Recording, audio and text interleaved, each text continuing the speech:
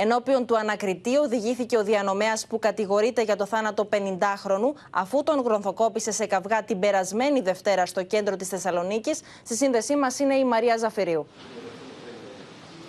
Ο εισαγγελέας άσκησε σε βάρος του ε, δίωξη κακουργηματικού χαρακτήρα για θανατηφόρα βαριά σκοπούμενη σωματική βλάβη και σε λίγη ώρα θα βρίσκεται ενώπιον του ανακριτή ο 27χρονο διανομέας, ο οποίος χθες ζήτησε και έλαβε προθεσμία ε, προκειμένου να απολογηθεί. Να θυμίσουμε το τραγικό περιστατικό, το οποίο, όπως είπες, έλαβε χώρα το μεσημέρι της Δευτέρας στον πεζόδρομο της Αγίας Σοφίας. Ο 27χρονο κινούνταν με το μηχανάκι του στον ε, πεζόδρομο. Έτσι, ο το θύμα του έκανε παρατήρηση. Ξεκίνησε μια λογομαχία και στη συνέχεια ο κατηγορούμενος τον χτύπησε με γροθιά στο πίσω μέρος του κεφαλιού. Ο 50χρονος ε, λιποθύμησε, σοριάστηκε στο έδαφος, ο διανομέας έφυγε από το σημείο.